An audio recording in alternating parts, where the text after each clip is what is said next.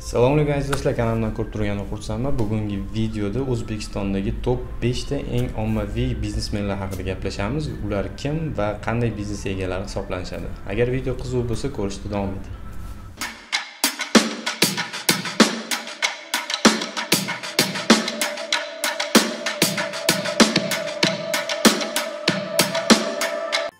Ro'yxatimiz birinchi o'rnida murod nazarov murod buildings asoschisi.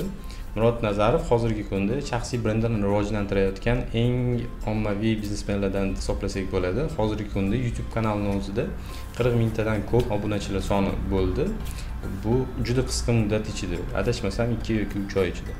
Murod nazarov ko'plab e, joylarda o'zlarini taqdimotini o'tkazadi va yangi proyektlarga qo'shilib hozirgi kunda nest one energy oybek cambridge residence do'stlar felichta mufarrah e, binolarini qurgan va boshqa ko'plab. Hozirgi kunda shu murod buildings va murod building studio kompaniyalari ish faoliyat olib boradi. Murod nazarov muvaffaqiyatlaridan biri bu o'sha uch to'rt yil oldin shu chiqib suhbatlar olib borishi omma bilan gaplashib fikrlik qilib taqdimotlar o'tkazgani shu shaxsiy brendini rivojlantirishiga sabab bo'lgan va qiziqarli sifatli loyihalar bu kompaniyani ko'tarishga yordam bergan.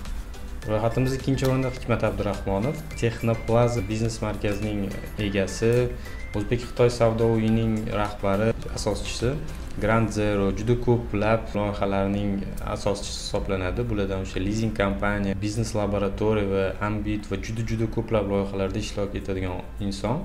Hozirgi kunda o'sha o'zbekistondagi biznes assotsiatsiyasini vakili hisoblanadi va o'zbekistondagi biznes rivojlanishi uchun juda ko'plab hissa qo'shib juda ko'plab proyektlar olib bormoqda. Hikmat abdurahmonov o'zini o'sha chiqishlarida juda ko'plab kerakli va qiziqarli ma'lumotlar beradi. O'zining shaxsiy brendini ham rivojlantirishga ancha harakat qilmoqdalar hikmat abdurahmonov ko'pchilik shu biznes laboratoriya youtube kanali orqali tanishadi. Unda o'sha boshqa biznesmenlar bilan e, rus tilida biznes haqida suhbat olib borilgan. Instagramda ham juda ko'plab e, postlar va videolar qo'yib borishga harakat qilmoqdalar va shaxsiy brendni muvaffaqiyatli rivojlantiruvchi biznesmenlardan hisoblanadi. Uchinchi va to'rtinchi o'rinda hasan husan mamasaidovlar turadi. E, ular ham hozirgi kunda shaxsiy brendni rivojlantiruvchi va ommaviy biznesmenlardan hisoblanishadi. Chunki juda ko'plab chiqishlari va juda ko'plab e, seminarlar spikinglar olib borishadi. Bu aka uka tadbirkorlar kanselyariya sohasida juda ko'plab ish qilishgan va asosiy bizneslari ham shundan iborat. Daily kanstovar tovarlarni hammamiz bilsak kerak o'shani dilerligini shular shu insonlarga tegishli va o'zlari boshqa videolarda aytganlaridek qachonki iste'molchi bitta konstalar olsa deylidan o'shanda ularni shotiga pul tushib boradi.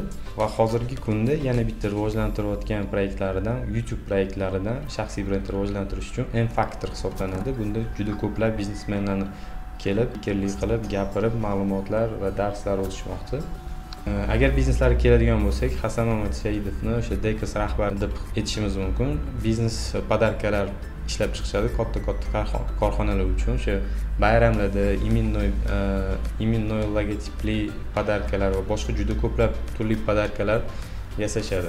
Delini aytib o'tganimizdek o'sha rahbarligi e, o'zbekistondagi e, vakili hisoblanishadi va kansler va boshqa konstovar brendlarini ham bu insonlarga tegishli. Beshinchi o'rinda zafar hoshimov bu inson juda ko'plab tajribaga ega va o'zbekistondagi eng e, oldingi biznesmenlardan ham deyishimiz mumkin.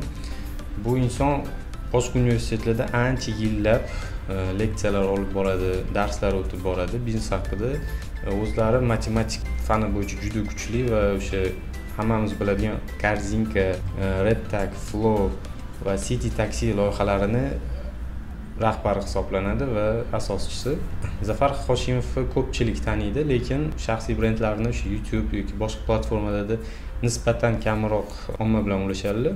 Lekin shunga qaramasdan o'zbekistondagi eng ommaviy bilan birga o'zbekistondagi ommaviy biznesmenlar qatorida eng kuchlisi ham hisoblanishi hisoblanadi. Video kimlar uchundir foydali va qiziqarli bo'lgan degan umiddaman. Agar video yoqqan bo'lsa layk bosing obuna bo'ling va o'z fikringizni kommentariyada yozing. Keyingi videolarda ko'rishguncha.